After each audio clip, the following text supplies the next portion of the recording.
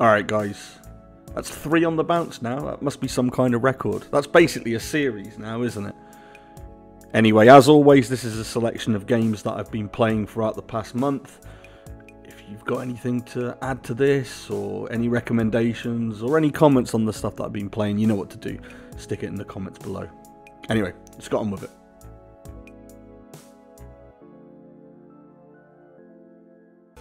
Capcom have absolutely dominated my March.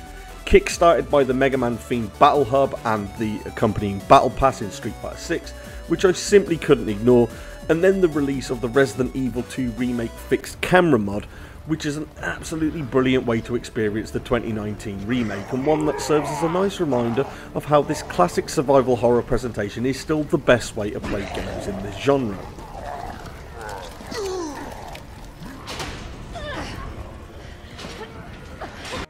The back of the latter, I went back to the original Resident Evil for what now appears to be my annual playthrough, and no surprises, it's still an absolutely exceptional video game. The mansion and the way that the exploration flows as you uncover its secrets and unlock more areas, it's near perfect. The pacing is equally as flawless, changing up the locations just as you start to tire of one, and the way it throws increasingly more challenging enemies at you to not only test your abilities in combat, but also in ammo preservation, keeps the action tense throughout it nails this thing that I love in a good survivor horror title, in that playing it for the first time will have you tiptoeing around every corner and clocking in at around 6 to 8 hours, but once you're blessed with the knowledge as to what is around every corner, you can blast through the thing in a couple of hours tops. It's a masterpiece and one that is still worth playing even in this post-remake world. With Dragon's Dogma 2 around the corner, I felt that March was finally the time to finish the original game. Yes, I hadn't finished the first game, and this was largely down to the fact that I bounced off it extremely hard upon its initial release and just never went back to it. It's one of those situations where the game is a bit of a slog and is absolutely a game that you have to meet on its own unique terms, and personally, some of these aspects were quite at odds with the way that I like to play games. I know it's a good game. I know that all of these things, like the fast travel and having to walk long distances and getting a lot of enemy encounters, are very much part of the experience. But I just never felt like I had a time to break the back of it and get settled into the world and the rhythm of the game. But finally I did, and I ended up really enjoying it. Now, it's not perfect. There's a lot of the original Dragon's Dogma that feels like a great idea that hasn't been fully realised or fleshed out fully, largely due to the technology available at the time, but even those, at the very least, are cool ideas. And that's the main thing about Dragon's Dogma. While the game itself may have a lot of fairly standard open world game design, underpinning this are loads of smart ideas. Varied combat that rewards you for creating your custom loadout, decisions that actually matter and affect things in a meaningful way, and a real fine balance between arcadey, fast-paced fighting and some Souls-esque strategic challenge. In fact, a lot of the real issues I have with it now stem from how clunky the PC port seems to be.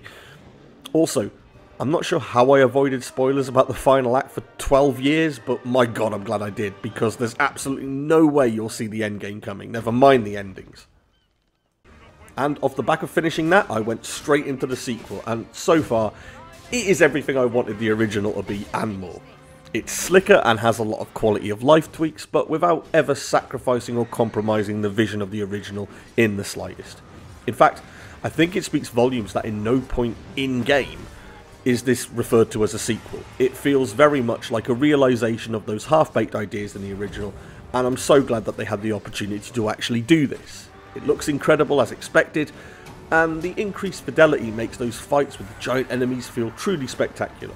It still has the varied combat that you can customize to your desired playstyle, and the pawn system, which allows you to create your own sidekick and hire other players' pawns to aid you in your game, is even smarter this time around, with each one having a really strong personality that makes them feel so alive, interacting with you, your pawn, and the world around you in clever, unique ways. While the world of the original game feels quite empty as you traverse it, which is a big part of why I bounced off it originally, no doubt, Dragon's Dogma 2 is one of the few games to truly understand what Breath of the Wild does that makes it so special and so revolutionary in the open world genre. There is no reward for exploration, for exploration itself is its own reward.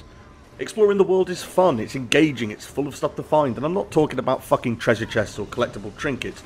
I mean things like you go left when you could go right at a split in the path and you end up on a 10 hour adventure, or you find a cave in the middle of nowhere and inside are a bunch of bastards who wipe your party out almost immediately.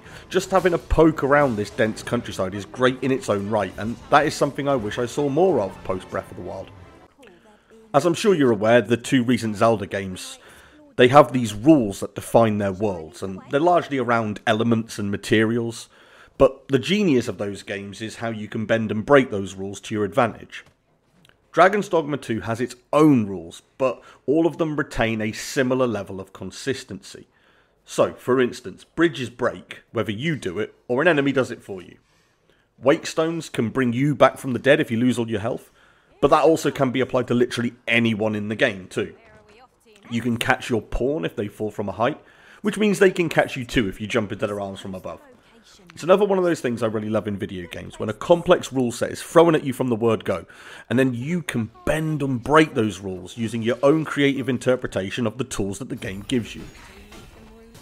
Dragon's Dogma and its sequel aren't games for everyone, so I fully expect people to bounce off this in the same way that I bounced off the original, but there's nothing else like it, and if you vibe with it, then you're in for a real treat. It's a game that, heaven forbid, allows you to make mistakes. Some of them almost game-breakingly unfixable, and you have to live with the consequences of these. People are so used to games just holding your hand and ensuring that you can complete the full thing from start to finish with so little friction that I have seen people complaining about some of the things that can happen in Dragon's Dogma 2 described as bugs, like they're problems with the game, which is a truly tragic fucking indicator of where some people's heads are when it comes to video games in 2024. Go watch a fucking movie if you want to guarantee that you'll see the end of something, providing you don't choke to death on your own saliva, you dribbling fucking idiot. I normally script these parts, but I'm having such a hard time actually getting my feelings onto the page about this game. I love Final Fantasy VII, and I need to be clear here. Final Fantasy VII, the three discs that came out on the PS1. None of the spin off media, just Final Fantasy VII. The rest of it, I think, is largely awful.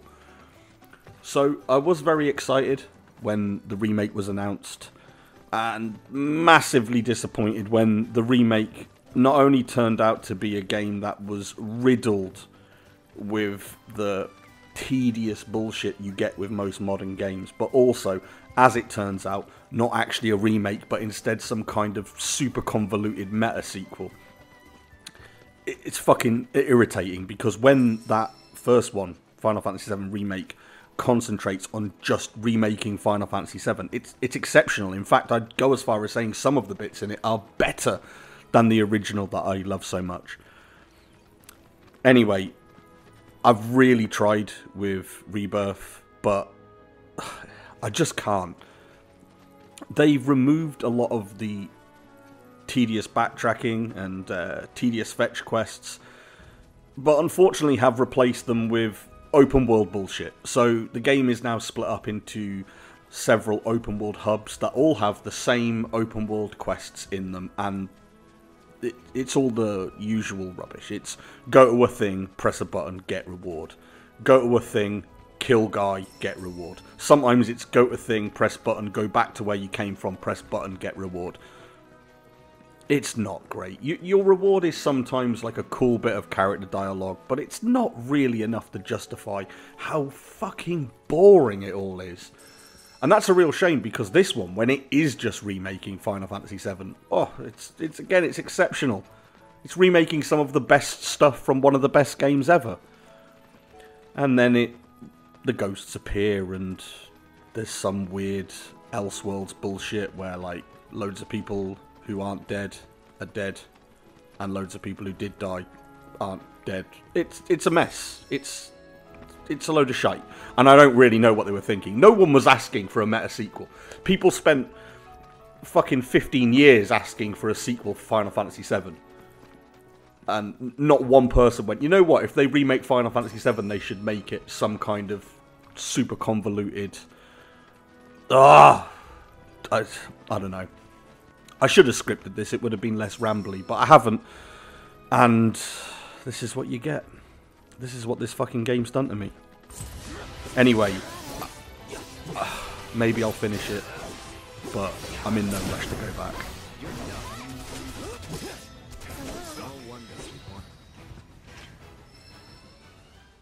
Now, unfortunately, legendary artist Akira Toriyama passed away at the start of the month, leaving behind him a legacy of some of the best character designs in manga and video game history.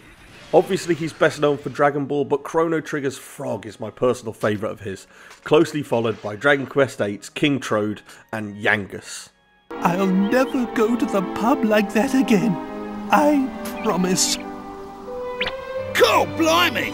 The weekend after his death was reported, I played through the original Dragon Quest for the first time properly, after many false starts over the years.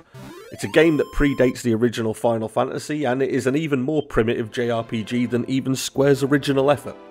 But there is still a charm to it, and that is, in a huge way, down to Toriyama's character and enemy designs.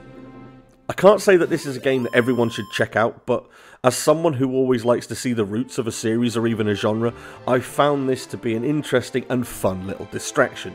There's a lot of grinding, but I just stuck on a couple of my favourite YouTube channels that I needed to catch up with, and mindlessly slaughtered my way up a few levels whilst I was supposed to be doing my day job. Which I definitely didn't do if you happen to be my boss watching this. Anyway, rest in peace, big man. I recall a quote that has been attributed to a load of different people about how you actually die twice. Once when you stop breathing and once when people stop saying your name, and if that is the case, Akira Toriyama is a true immortal.